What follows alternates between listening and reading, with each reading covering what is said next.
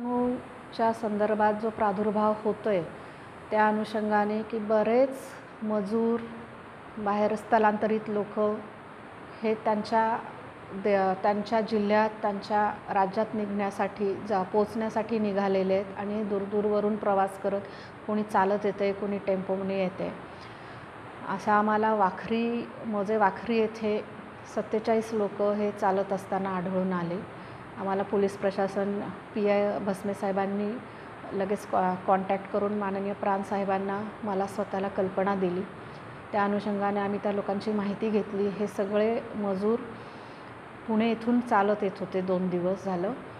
आणि हे रायचूरचे रहिवासी असून त्यांच्याबरोबर लहान मुलंही होती. या सगळ्यांची आम्ही पासष्ट एकर एरियात आपला जो M T D C hall आहे त्या ठिकाणी त्यांची सोय निवाऱ्याची सोय केलेली आहे. त्या ठिकाणी आपण मंदिर प्रशासनाला सांगून त्यांचा चहा नाश्ता जेवणाची सोय केलेली आहे.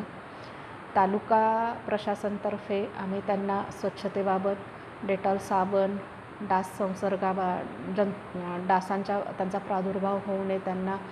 म्हणून गुड नाईट तेलाची बॉटल ह्या ज्या आवश्यक गोष्टी आहेत ह्या आम्ही पुरवत आहोत.